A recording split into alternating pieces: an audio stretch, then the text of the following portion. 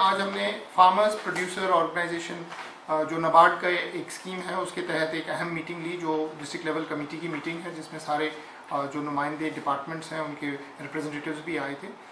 रामबन में हमने आइडेंटिफाई किए हैं चार मेजर क्रॉप्स जिनमें अनारदाना वॉलनट हनी और राजमा।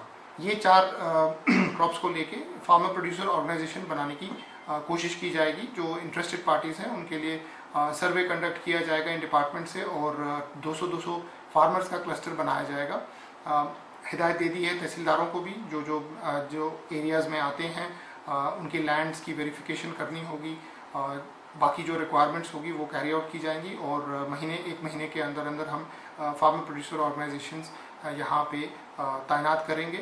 इससे फोकस मार्केटिंग की तरफ़ चला जाएगा इन प्रोडक्ट्स का। प्रोडक्ट्स ऑलरेडी बन रहे हैं बहुत सारे प्रोडक्ट्स अच्छे माने जाते हैं इस एरिया के, लेकिन उनकी मार्केटिंग की वजह से फार्मर्स को फ़ायदा नहीं हो रहा है। तो एफ़ बनाने से वो फ़ायदा उन तक पहुंचेगा और मार्केटिंग करने से उन प्रोडक्ट्स का आगे चल के पेटेंट भी हमें मिल सकता है।